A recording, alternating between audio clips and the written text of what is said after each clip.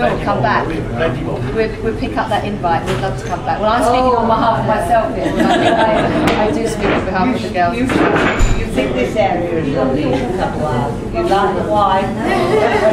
I don't think there's any doubt about whether we like the wine. I love it. And I have to say, Tom, thank you very much. You've regaled me with some wonderful stories. He uh, was laughing down the end of the story. He's a real old boy, this one. get up But um, it's an absolute pleasure to meet the man who was Thank you. twittering me. Thank you. And I didn't know who was twittering me or tweeting me, and it, it, was, it was Tom. So uh, it's lovely to meet the, the voice on the end of the, the Twitter.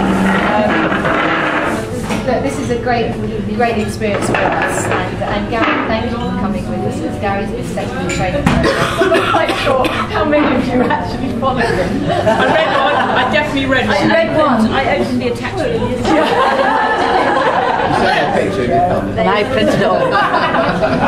Gary comes with a lot of experience from his own military background, so um, so we're in safe hands as well, and we're in safe hands with our guides, uh, John Howie and uh, and the lean machine who will meet. The lean, lean It's not me, obviously.